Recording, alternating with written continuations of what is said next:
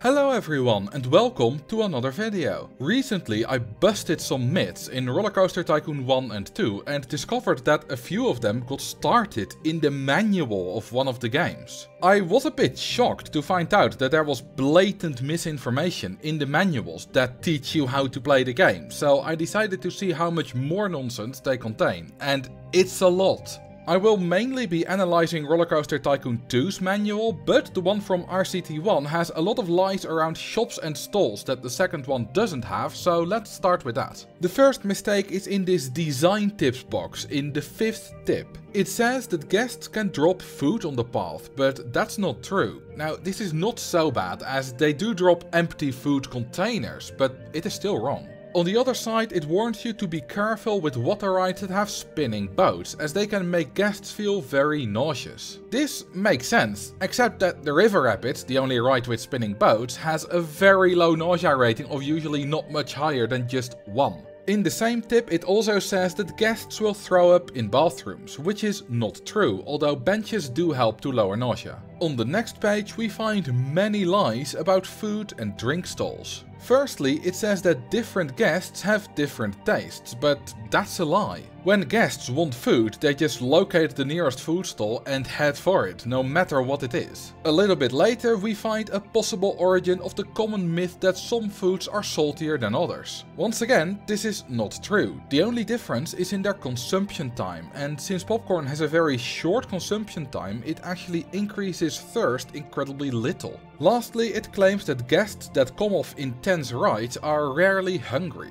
Hunger plays no role at all in determining whether a guest goes on a ride, and going on a ride doesn't affect their hunger either. Hunger does affect how much nausea a guest gets, which the manual actually states correctly below. That was everything from Rollercoaster Tycoon 1's manual, so let's move on to the one from RCT2. After all the stuff on how to install the game, it immediately goes wrong in the second paragraph. When talking about ways that the park can fail, it mentions a bunch of valid reasons, but also flowers dying. Flower beds will slowly wither away over time if they're not watered by handyman or rain, but that has zero effect on anything. Skipping some technical stuff, which is all fine, we arrive on page 19, specifically the section about water tools. It claims that guests will cool down on water rides, but alas, the weather and water rides have zero effect on each other. I get why they put this in, as it makes the manual more fun to read and encourages people to build water rides, but it's still incorrect. Shortly after, there is a very minor mistake about the park rating. It says that it can range from 0 to 1000, but in truth truth it's actually 0 to 999. This page also contains the first tip, and unlike several other ones, this one is actually true. I thought that overcharging for umbrellas when it rains was a player invention, but it's actually encouraged by RCT2's manual. It doesn't quite say 20 bucks, but it does indicate that you can charge a lot. A few pages further along there is an error in the section that describes the clear scenery tool. In the very first sentence it says that you can use this tool to remove scenery items larger than a single square, when it's in fact the opposite. Anything larger than a single tile cannot be removed with it. A few sentences later it does correctly say that though.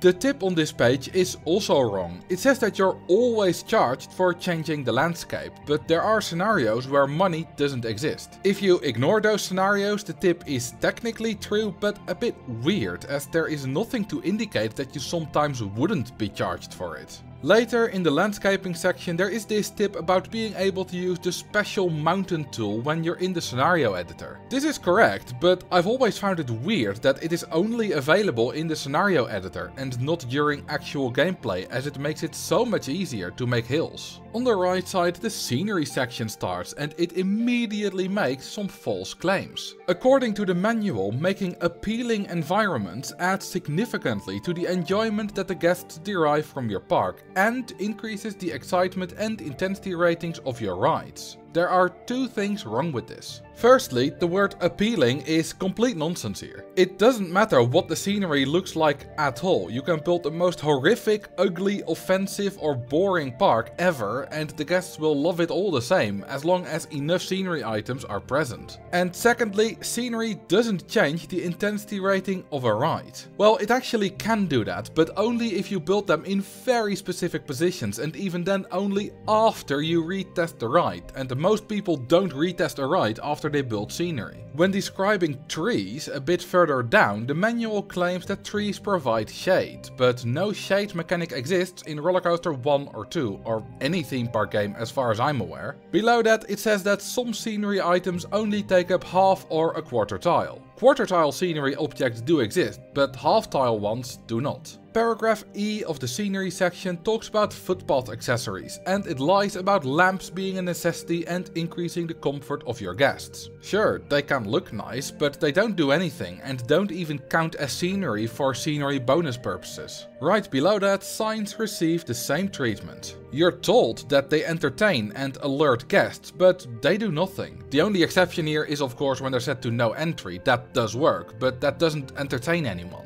I don't want to just criticize the manual, so let's highlight something that I think is really good. Here it gives a tip about using scenery items to increase the excitement rating of a ride and it specifically talks about using head chopper elements to create the illusion of an impeding collision.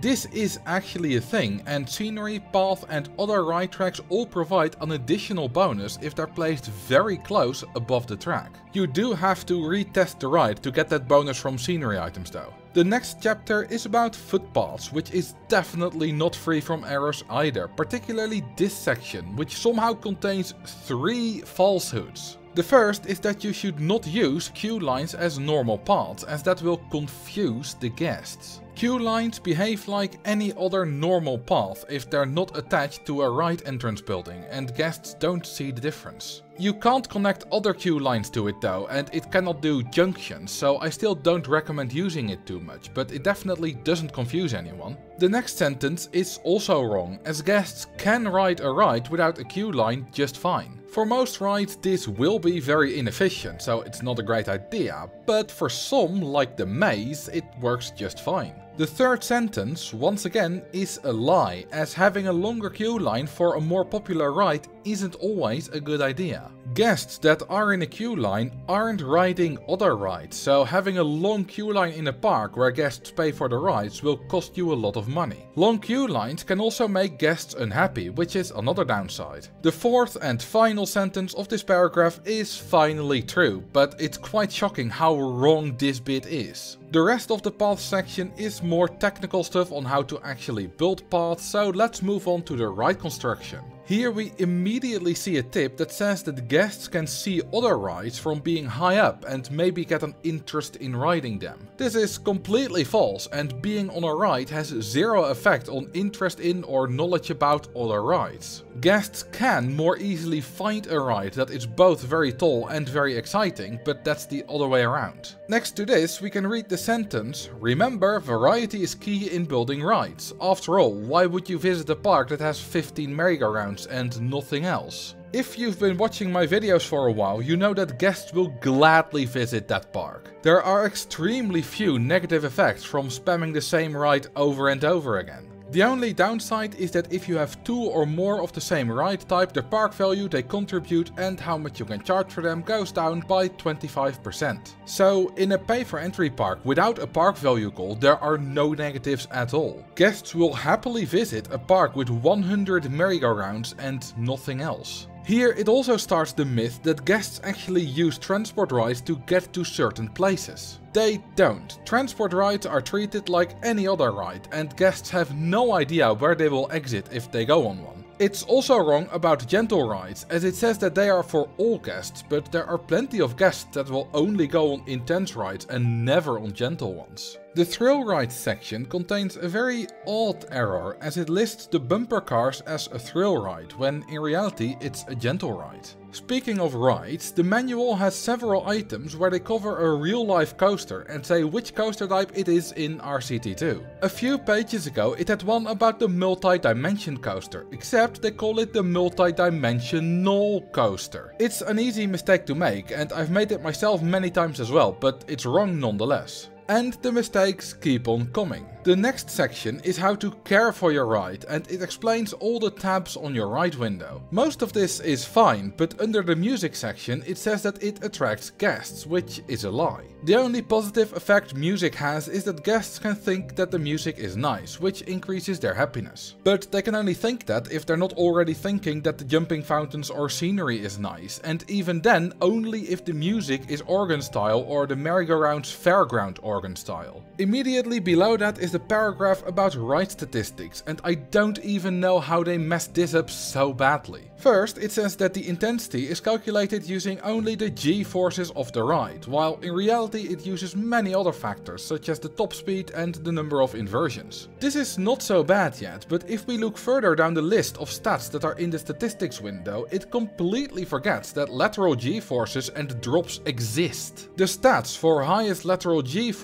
number of drops and highest drop height are nowhere to be found. This is just bizarre. Next up is the chapter about running the park and we immediately run into an error very early on in the staff section. It says that if something goes wrong you could injure or even kill your guests. This is false, as there exists no such thing as injuries in the Rollercoaster Tycoon universe. Guests either survive great falls without any injuries at all, or immediately die from running an inflatable dinghy into the ground at 2 km an hour. The next few pages is all very dry explanation of different functions that can help you manage the park and there's not much wrong with it. It's not until the finances section that we find the next big error. According to the manual, the calculation for your park value takes into account the value of the land and equipment owned, the quality and profitability of the rides in your park and your public reputation, aka park rating. This is just completely wrong. In reality, the bulk of your park value comes from the excitement, intensity and nausea ratings of your rides, multiplied by their age value. The other, often much smaller bit comes from the number of guests that have ridden your rides in the last 5 minutes and the number of guests in your park. How much land you own, the profitability of anything and the park rating have nothing to do with it. The tip about marketing that's next to it is also slightly incorrect. It says that guests will be disappointed if they are spawned from a marketing campaign for half price park entry while your park is free to enter. It's kind of the other way around. If your park fee is less than 6 bucks, this ad is 87.5% less effective in spawning guests, but the guests that do spawn don't mind the very cheap or free entry. The last thing that I want to talk about is this showcase of how to build a ride. The design is a bit ugly, but it's decent enough and it will teach you how to build a basic coaster. My problem is with the incredibly short two-tile station. This is a very odd choice and it even says that a longer station is probably better. If they do realize it, then why not use one? This is